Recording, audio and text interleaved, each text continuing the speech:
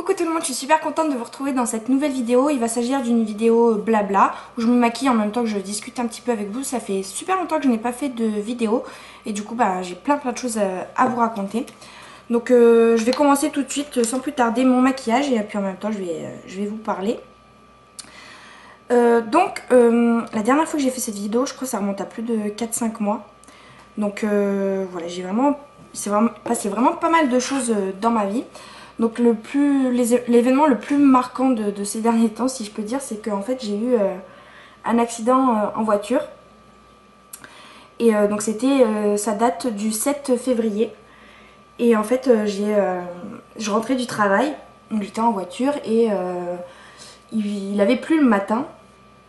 Et du coup la chaussée elle était mouillée et en fait dans, un virage, un virage qui tournait vers la droite, j'ai perdu le contrôle de mon véhicule, c'est-à-dire que le train arrière est, parti, euh, est parti vers l'avant, en fait, donc j'ai fait un tête à queue en plein milieu du, virage. Heureusement qu'il y, avait, euh, avait personne derrière moi, sinon je pense que j'aurais fait un, carambolage.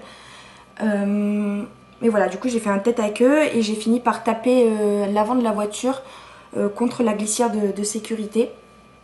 Et avec le choc, en fait, en tapant devant, ben avec le choc, ça s'est parti en arrière comme j'étais déjà en train de faire le tête à queue. Et du coup, bah, j'ai tapé l'arrière de la voiture aussi. Donc l'arrière gauche et euh, l'avant gauche. Donc euh, en fait, euh, toute ma voiture à gauche était complètement bah, détruite. quoi. J'essaierai de vous montrer des... vous inclure des photos si, si j'y pense. parce que j'ai pris des photos du coup tout de suite après le choc.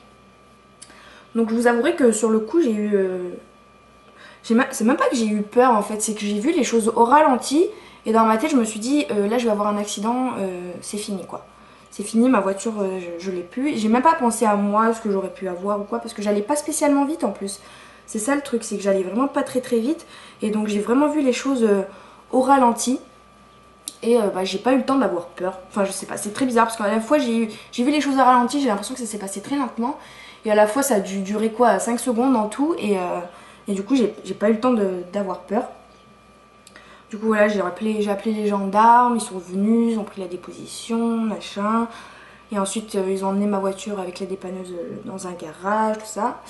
Et, euh, et en fait, ce qui s'est passé, c'est que l'expert, ensuite, il est passé. Et il m'a dit que le véhicule, techniquement, il était réparable. Mais la valeur euh, euh, des, réparations étaient plus élevées que la valeur du, véhicule. C'est-à-dire que les réparations coûtaient 5500 euros et, euh, et ma voiture valait 4500 euros à l'Argus en fait. Avec, avec toutes les factures que je lui avais envoyées, dire un petit indien comme ça.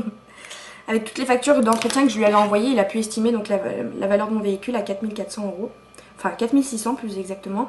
Sauf que l'assurance m'a remboursé que 4004 parce que bah, j'avais la franchise de, de 200, 210 euros. Donc euh, voilà, donc sur le coup quand j'ai appris ça j'ai été vraiment euh, bah, choquée, triste. Euh.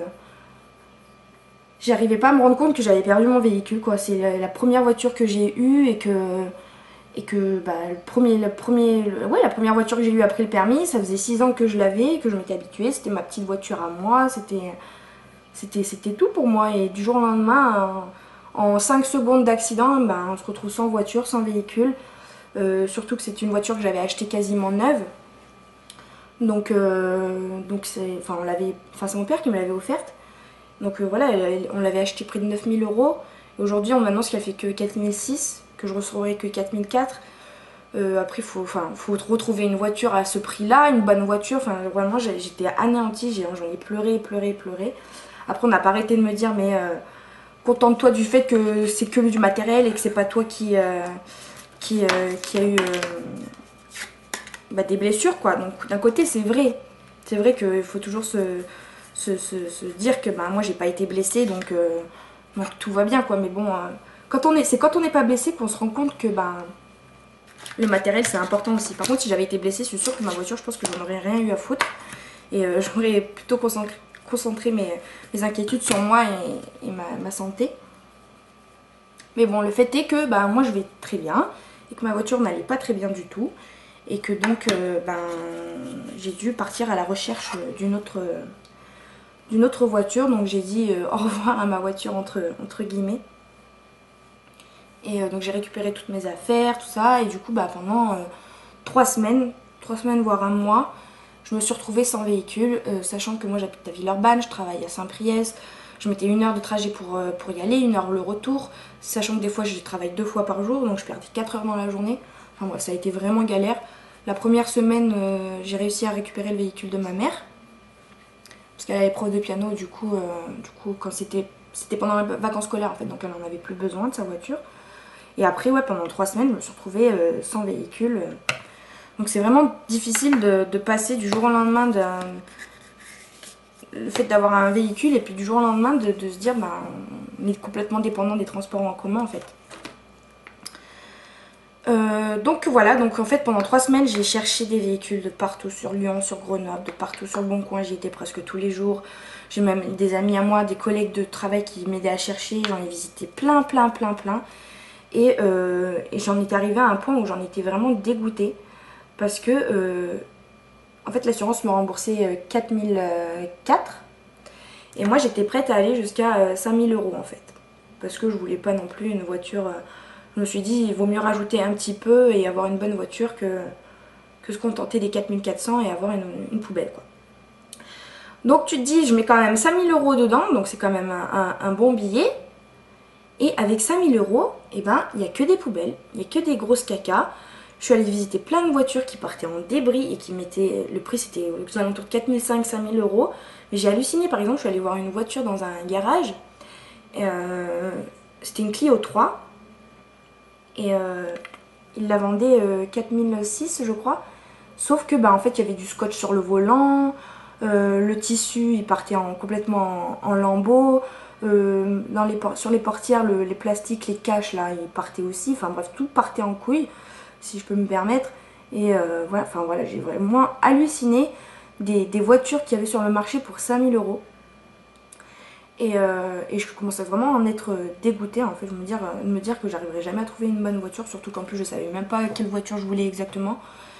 Euh, comme je ne connais pas trop trop en voiture, je savais pas trop, je voulais le même gabarit que ma Clio 2, mais J'en avais absolument aucune idée. Alors j'ai dû couper la vidéo parce que j'avais plus de place sur ma carte mémoire donc je sais plus ce que je disais. Mais je crois que j'en étais au fait que j'avais trouvé euh, du coup ma voiture, euh, ma nouvelle voiture euh, sur le bon coin. C'est un jour en fouillant sur le bon coin je vois cette annonce, une Ford Fiesta. Mais genre les caractéristiques trop parfaites de 2010. Donc plus récente que ce que moi j'avais. de avec 75 000 bornes, donc avec moins que ce que moi j'avais, noir, diesel, 5 portes, enfin juste parfait. Euh, on est allé la visiter, on a été les premiers à la voir et euh, elle était vraiment nickel, propre, euh, avec toutes les factures à l'appui. et heureusement qu'on a été les premiers à la voir parce que, parce que du coup ça a été une voiture qui, qui serait partie en deux secondes et du coup on l'a réservée et, ça a été des gens très très honnêtes parce que j'ai réservé, on m'a juste dit oralement que je, la prenais et je lui ai pas donné des... Je lui ai pas donné un petit, des petits sous pour faire la réservation, non, rien du tout. Et en fait, euh, quand je suis allée l'acheter une semaine plus tard, euh, ils m'ont dit qu'il y avait des gens qui l'avaient vu sur internet, qui lui avaient proposé plus que le prix. Et euh, plus que le prix sans même voir la voiture en fait. Donc vraiment des gens honnêtes parce qu'ils m'ont dit qu'ils leur ont dit que du coup la voiture avait été vendue à moi. Et donc vraiment super super pour 4950 euros. J'ai une voiture mais vraiment du feu de Dieu. Elle est vraiment superbe quoi. Je l'adore. Je l'ai bien prise en main. Euh, et, voilà, je suis vraiment très très contente. J'aurais tourné vraiment très très longtemps euh, pour, euh, avoir, pour avoir une bonne voiture. J'ai bien fait d'attendre en fait et de ne pas me précipiter non plus sur la première voiture venue. Parce que bon, quand on est en transport en commun, on n'a qu'une hâte, c'est reprendre sa voiture. Et j'aurais pu, j'aurais pu acheter la première que je voyais en fait et qui me plaisait à peu près. Et j'ai bien fait d'attendre d'attendre et de, fouiller, fouiller, fouiller sur internet, tout ça pour, euh, pour avoir la, bonne occasion en fait. Et... Donc voilà, j'ai ma nouvelle voiture et j'en suis vraiment très très contente, je l'adore, euh, je l'ai bien prise en main, elle est trop belle, je la kiffe, je la kiffe, je la surkiffe, je la surkiffe. Donc euh, voilà, suite à mon accident en fait j'ai... Hum, bah, je rentrais du travail en fait donc je me suis dit bah, ça serait la bonne occasion pour profiter et de me mettre euh, en, arrêt en fait comme c'était comme je rentrais du travail c'est considéré comme un accident de, travail Même si tu plus sur le lieu de ton travail, c'est comme tu rentres, ben, c'est considéré comme tel. Et du coup, bah, je me suis pris, euh, je suis allée voir le médecin et tout. Euh, j'ai dit que j'avais un peu mal au cou. Et il m'a mis une semaine en arrêt. Le fait est que, bon, ce que j'ai fait, c'est pas bien parce que j'ai un peu triché.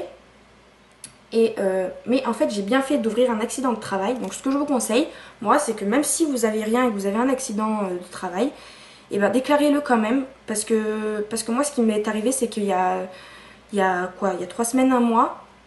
Donc, j'ai eu l'accident le 7 février. Hein. Là, on est début avril. Euh, ouais, il y a trois semaines à peu près, euh, mi-mars, c'est ça, mi-mars, un matin je me lève, pardon, je me lève et euh, j'entends un crack, je fais un, geste en fait et j'entends un crack dans le dos. Et impossible de bouger, j'avais vraiment trop mal, je me suis mise à pleurer tellement j'avais mal en fait. Et je me suis retrouvée complètement bloquée du coup jusqu'au milieu du dos. Et, et voilà, du coup, je suis retournée voir le médecin. Et en fait, euh, lors de mon premier accident de travail, quand j'avais pas mal, j'ai quand même fait la radio. Et du coup, je suis allée retourner voir le médecin et je lui ai montré ma radio. Il m'a dit, mais vous avez, votre colonne, elle est inversée. Elle est comme ça alors qu'elle devrait faire un, petit arrondi en fait. Du coup, il m'a dit, vous avez fait le coup du lapin, vous avez une entorse des cervicales. Donc comme quoi, sur le coup, on ne peut ne rien avoir. Mais euh, quelques temps plus tard, après, ça peut, ça peut venir en fait. Donc donc d'où l'intérêt de faire l'accident de travail parce que du coup avec ce médecin moi j'ai réussi à faire en sorte d'être encore en accident de travail alors que ça remontait, euh, c'était trois semaines, euh, un mois plus tard quoi. Donc, euh, donc voilà, faut quand même déclarer les accidents de, travail, même si on n'a rien.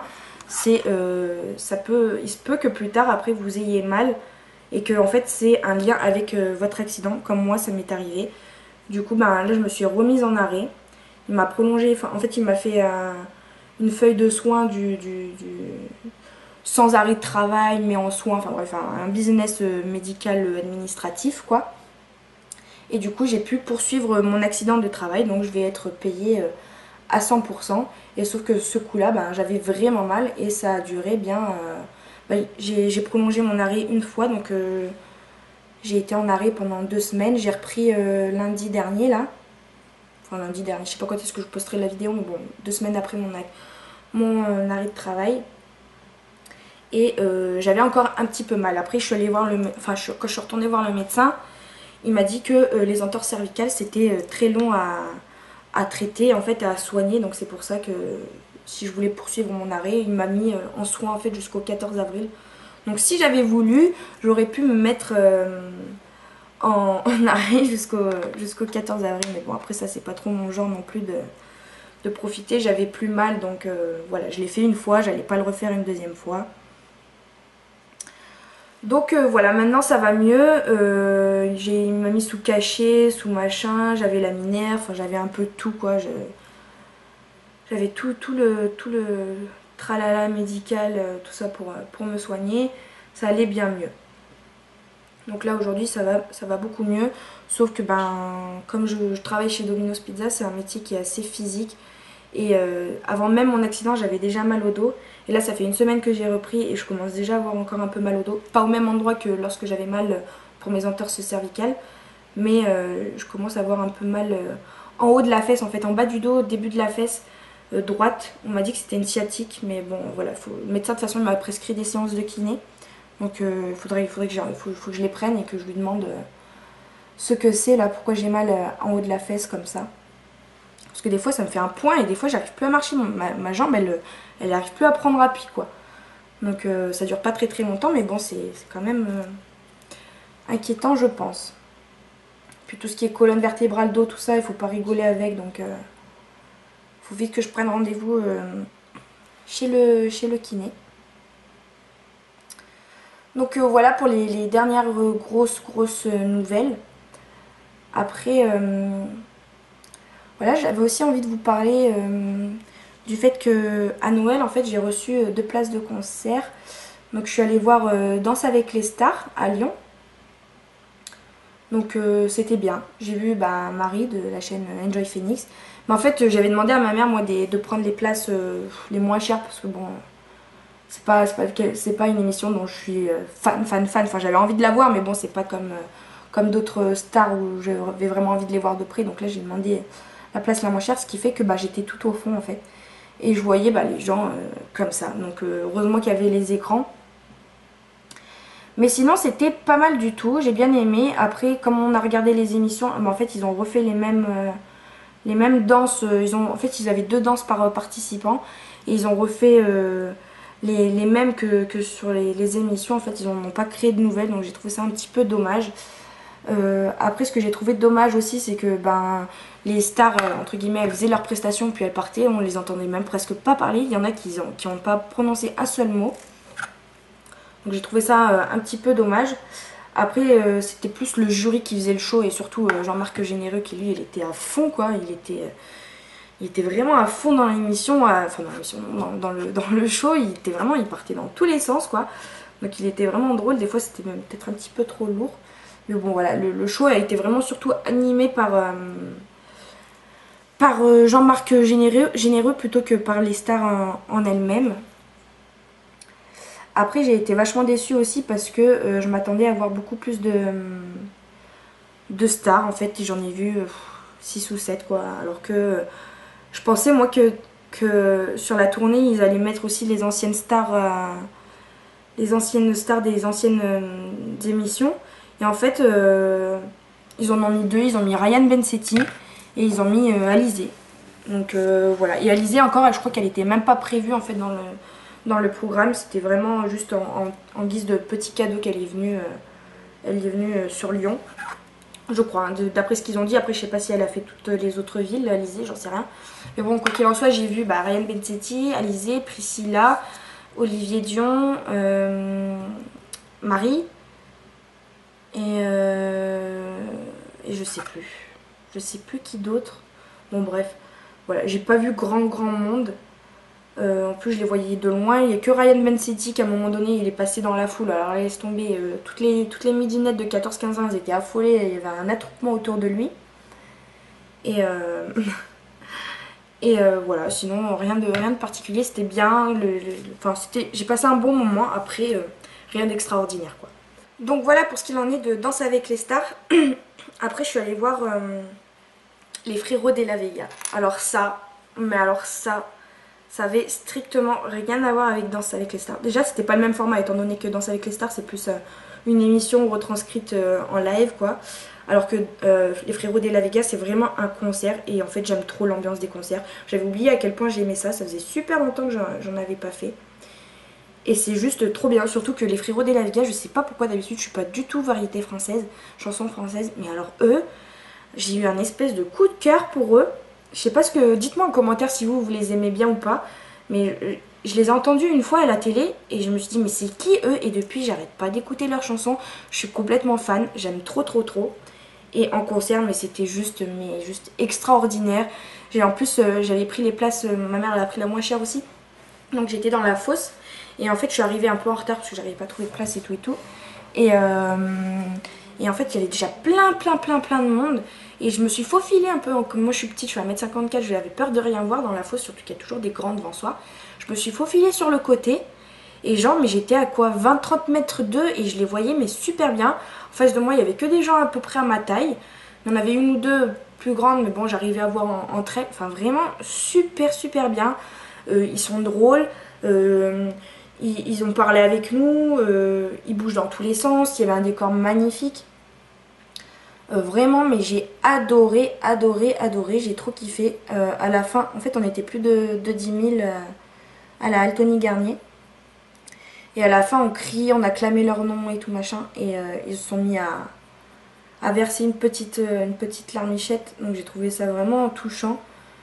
Enfin, c'est vraiment des, des, gars qui sont sincères, quoi, et honnêtes et qui et qui apprécient, euh, qui apprécient les moments passés euh, sur scène. Enfin, vraiment, on sent vraiment qu'ils aiment, euh, qu'ils aiment faire ça et, et j'ai vraiment trop trop aimé. Le seul petit regret que j'ai, c'est qu'ils ont commencé par deux ou trois chansons connues et après ils en ont enchaîné presque sur la totalité du, concert sur plein de chansons peu, connues, donc moi je connaissais pas forcément. Donc ça m'a permis d'en découvrir de, nouvelles, mais bon, moi j'avais envie de chanter avec eux, du coup j'étais un un peu frustrée de ne pas pouvoir le faire. Et ils ont terminé par euh, bah, toutes leurs chansons plus connues. Donc euh, c'est vraiment la dernière partie, je dirais, que j'ai vraiment, vraiment adoré. la, foule elle était vraiment en folie, on chantait tous ensemble, on dansait. En plus ce qui était bien c'est que j'avais de l'espace. C'est pas comme les concerts des stars américaines par exemple où on est tous, euh, tout le monde se presse en avant en fait et on, est serré comme des sardines. Alors que là j'avais vraiment de l'espace, je dansais, j'étais vraiment trop trop bien. C'était vraiment trop bien, j'ai passé un moment mais trop trop bien. Je suis ressortie, j'avais des étoiles mais plein plein plein les yeux, c'était magique, j'ai juste adoré. Et donc euh, voilà, je suis allée voir ces deux concerts et c'était vraiment vraiment super bien. Après, euh, qu'est-ce que j'avais envie de vous dire d'autre? Euh, vais bientôt démissionner de... Ah oui, je vous ai pas dit, mais du coup, depuis janvier, là, je travaille chez Domino's Pizza en attendant, parce que j'avais vraiment besoin de... J'étais vraiment en galère financièrement. Donc voilà, j'ai travaillé chez Domino's Pizza en tant que en, 24 heures par semaine. Et je commence à en avoir marre, surtout que là j'ai un petit peu renfloué mes caisses, donc ça commence à aller mieux. Et, euh, du coup, bah, j'ai donné ma lettre de démission et je démissionne. Euh, du coup, bah, mon dernier jour, c'est le 4 mai. Donc, euh, vivement que ça se termine parce que j'en ai marre, j'en peux plus de ce travail. C'est vraiment physique, c'est ultra répétitif, je fais tout le temps la même chose. Ça me casse le dos en quatre parce qu'en fait, on n'est pas droite. En plus, déjà, on est tout le temps debout. Et de deux, en fait, pour mettre les ingrédients, on est toujours un petit peu penché. Donc, ce qui fait qu'on n'a jamais le, dos bien droit. Et, et bah, ça, me, ça me tue le dos. Je pense que c'est de là que vient ma, que vient ma sciatique, je sais pas si c'est une sciatique vraiment, mais en tout cas les, douleurs que j'ai au dos. Et puis, eh ben, pas de reconnaissance, euh, enfin vraiment c'est c'est du travail de, c'est des petites mains quoi qui travaillent et on fait toujours la même chose. Moi je fais les pizzas, j'en peux plus quoi, j'en peux plus de faire ces putains de pizzas, ça me saoule, j'ai une envie de partir, j'ai des horaires vraiment mais je vais deux fois au travail par jour. Donc, euh, enfin, deux fois de trajet, euh, enfin, vraiment, ça me casse mes journées parce que j'y vais le midi, j'y retourne le soir, l'après-midi, j'ai quoi? J'ai 3-4 heures, je suis claquée, je dors, je fais plus rien de ma vie. Enfin voilà, en plus de ça, comme je vous avais dit, il faut vraiment que je me remette sur mon, sur mon projet. Et avec euh, Domino, je pensais pouvoir cumuler les deux, en fait, faire 24 heures chez Domino's Pizza et puis travailler sur mon projet à côté. Et en fait, bah, c'est juste pas possible, j'y arrive pas du tout. Je suis claquée, je fais que dormir, et puis quand je suis en repos, bah, je retourne sur Grenoble pour voir ma famille, mes amis, tout ça. Et, euh, voilà, du coup j'ai pas le temps. Donc là je démissionne euh, bientôt et j'ai hâte. Et du coup c'est aussi pour ça que je tourne moins de vidéos en ce moment parce que ben comme je viens de vous le dire et comme je l'ai déjà dit dans mes anciennes vidéos aussi je crois, euh, j'ai plus, c'est pas que j'ai pas le temps, c'est que je suis claquée quoi, j'arrive plus à, tout gérer. Et du coup bah là comme je vais bientôt démissionner, j'aurai plus de temps pour vous tourner des vidéos. Donc si vous avez des envies de vidéos particulières, euh, vous avez envie que je vous édite, n'hésitez pas à me dire tout ça en commentaire. J'ai euh, récemment fait une commande sur AliExpress, une grosse commande, donc euh, attendez-vous d'ici quelques semaines, parce que j'ai passé quoi, il y a 2-3 jours la commande, donc le temps que ça arrive. Attendez-vous à voir une vidéo AliExpress. et puis bah voilà. Si vous avez des envies particulières, n'hésitez vraiment pas à me le dire en commentaire. Donc voilà, je viens de mettre euh, mon rouge à lèvres, donc il s'agit plutôt d'un gloss, donc c'est le Kiko, euh, le Shine Lust et c'est en teinte 08. Donc c'est un gloss en fait, j'ai acheté ça, je l'ai jamais mis, donc euh, je les teste là, c'est assez collant, c'est l'aspect gloss. Je suis pas trop trop fan, mais, mais bon, ça va faire l'affaire pour les quelques vidéos que je vais tourner là maintenant. Je vais aussi euh, ravaler ma façade chevaleresque, les cheveux quoi. Et euh, bah voilà, je vais tourner d'autres vidéos. Euh, ça m'a fait trop plaisir de tourner cette vidéo, ça faisait super longtemps que j'avais pas discuté un petit peu avec vous. N'hésitez pas à, commenter cette vidéo si vous voulez répondre à un sujet que j'ai abordé dans cette vidéo ou si voilà, vous voulez me parler de votre journée, il n'y a pas de problème, moi je réponds avec plaisir à tous vos commentaires. Et puis ben, je vous dis à très bientôt et je vous fais de gros gros bisous, salut